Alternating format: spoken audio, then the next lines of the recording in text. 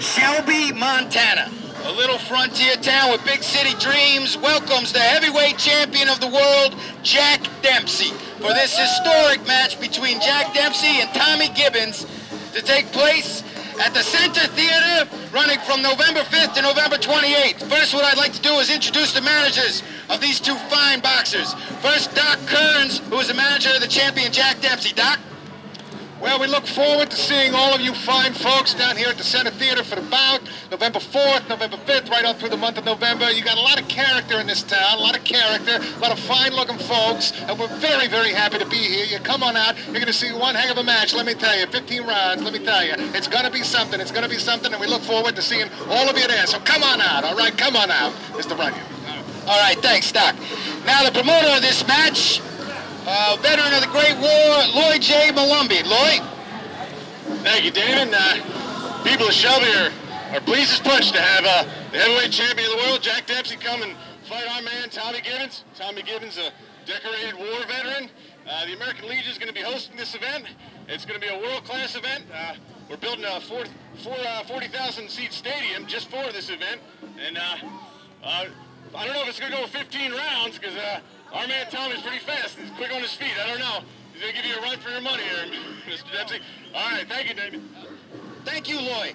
Now, without any further ado, let's meet the challenger.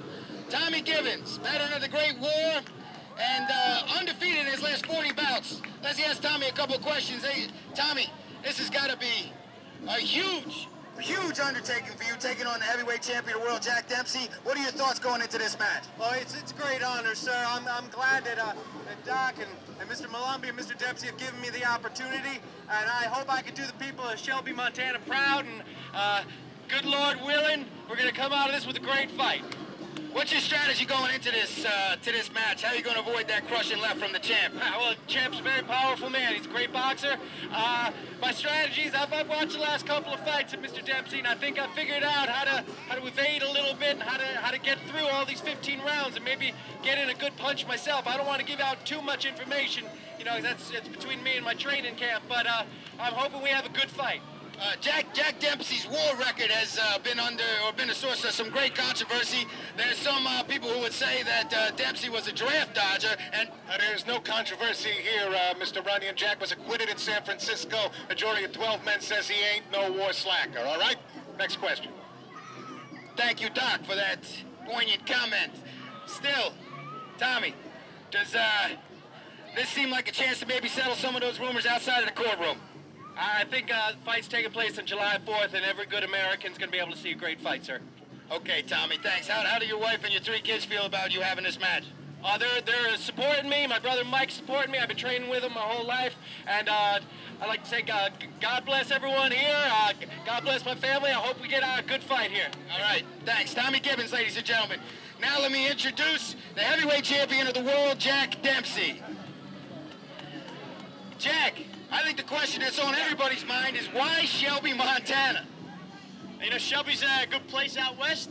Doc brought it to my attention so we could get a nice fight there with Tommy, so there was really no question in my mind where we were going. Your last fight at Jersey City drew 90,000 people. I don't know if there's 90,000 people within a, a, thousand miles of Shelby.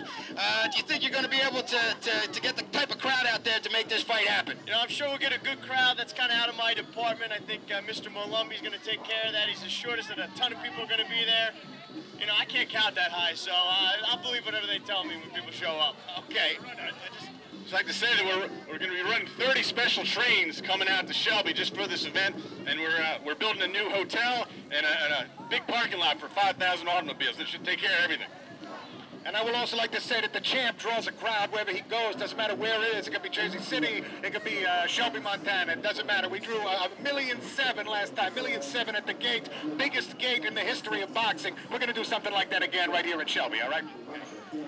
Champ, how do you feel about uh, walking into a match that's sponsored by the American Legion, the same people that uh, called you uh, into question regarding your war record? I know. I feel. I feel great. I, I think it's an honor that they're sponsoring it. For American people. Fourth of July, like Tommy said, it's going to be a great fight on that day. Very patriotic. And what's your strategy going into this match? And uh, ultimately, what's your prediction? My strategy is the same as always. I'm just going to show up and throw punches the way I always do, and uh, I think we're going to have a good fight. That's my prediction. Right, let's pose up, guys. Come on, let's pose up. Okay, hey, let's get the boxes together for some pictures. Very good. All right. There we go. Thanks, thanks, fellas, and uh, thank you all. We want to let you know that this show is running from November 5th to November 28th at the Norristown, uh, at the Center Theater right here in Norristown. We have a professional theater here in Norristown, and we hope that you all can come out and see the fight. Uh, without, I don't.